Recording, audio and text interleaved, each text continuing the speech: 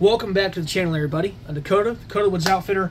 It's a rainy day. I'm getting a bunch of these videos done because, again, the, the goal is one video a day till the end of the year minimum, okay?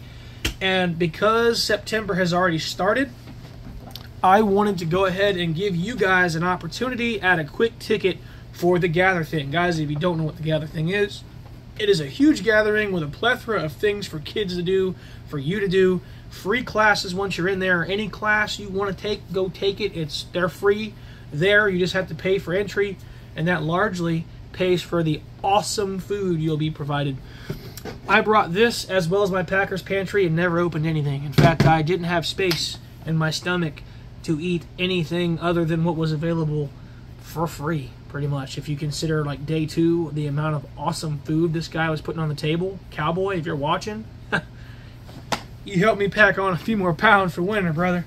Um, if you guys don't already know, Cowboy is the cook at the event, and he was a freaking hoot, man. He was awesome to be around. Generally, great guy, and uh, really good cook. Kept kept everybody nice and full.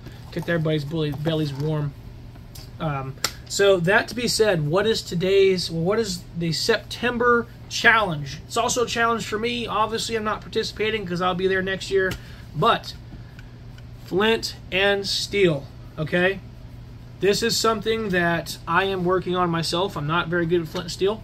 And so I thought it'd be fun to go ahead and make this challenge what it is, a challenge. Not only are we going for time, but how small of a flint and steel can you go to still produce a fire? Okay? Hear me out, it gets better. You're not allowed to use char cloth. I'm going to say that again. You're not allowed to use char cloth. Okay? Flint and steel, smallest flint you can go, smallest steel you can go. Be safe. We all know this stuff can cut you. Understand your limits.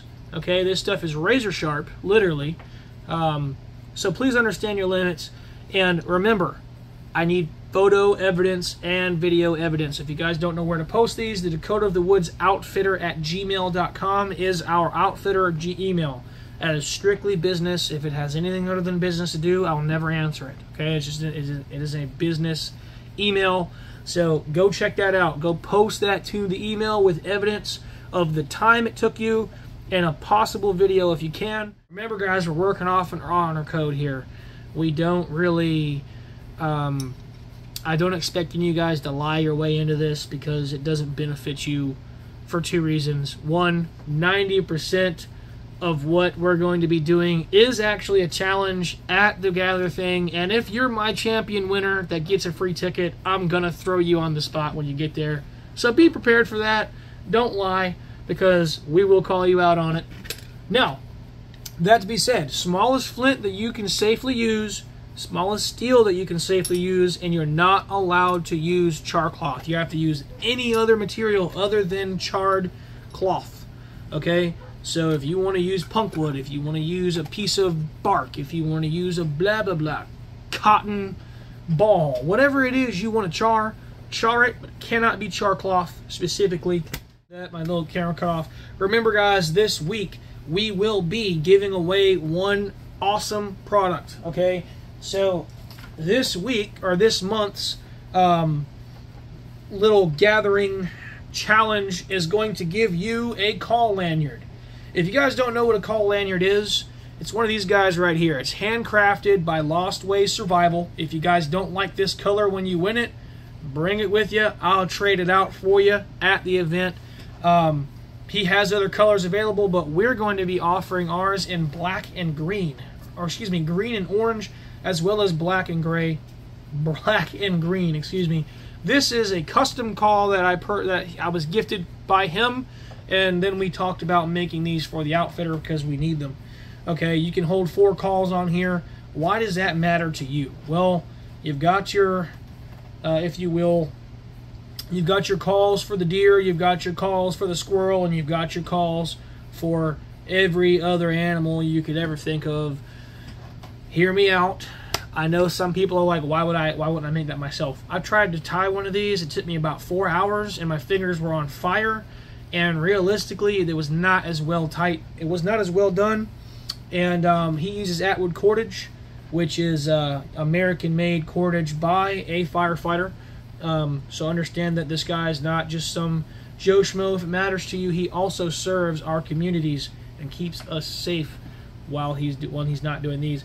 Now, another thing that I like about these particular lanyards is that uh, he has these little clips, these swivel clips on here that allow you to use these separately. You can clip this off and put this on yourself if you want to leave the rest of this at home. I personally will be using mine all over the place, but when deer season ends or if I'm just coyote hunting or whatever it is, I'll just drop these two off and bring my coyote calls and stuff like that. Yes, they exist. We'll talk about them later. But this is the literal event. Now, the one that you'll be getting will be orange and green. I'm going to say that again. Leave it right here. Orange and green. That is the color that we're giving away. And uh, trust me, this thing's going to fit around anybody's head. I have a uh, eight and a half head, in case anybody's wondering. And it's giving me that much room to spare. Um, so if it can't fit around your head, man, we can tie it any bigger than you need it to. Again, he'll be at the uh, gather thing next year, so if it needs to be adjusted for you, we can make that happen. Again, guys, if you hadn't heard already, this is the prize as well as a free ticket, which I, again, will give you if you win. Make sure that by the 30th of the month, you have your stuff posted to the Outfitters email. And if you can't get a hold of me on the email, then contact us on any YouTube video and be like, hey, brother, I'm trying to get a hold of you. And I'll give you the Outfitters email in which you can either go to the Outfitter page and receive the Outfitter's number, call me during business hours, or just get it yourself off the website. So, hope to see you guys there. Whoever's going to attend this, whoever's going to try this out, I encourage you to do your best. And remember, if you post a video on the 20th and somebody says, gets in a comment and says, Hey guys, September video, I am at 2 minutes and 5 seconds, and you know you're at 2 minutes and 6, do another one. Get out there and train again. It's going to give you nothing more than training, and if you keep up the hard work, you'll beat out the other guys, and you'll get a free ticket and some awesome prizes. So, guys, I hope to see you in the next one.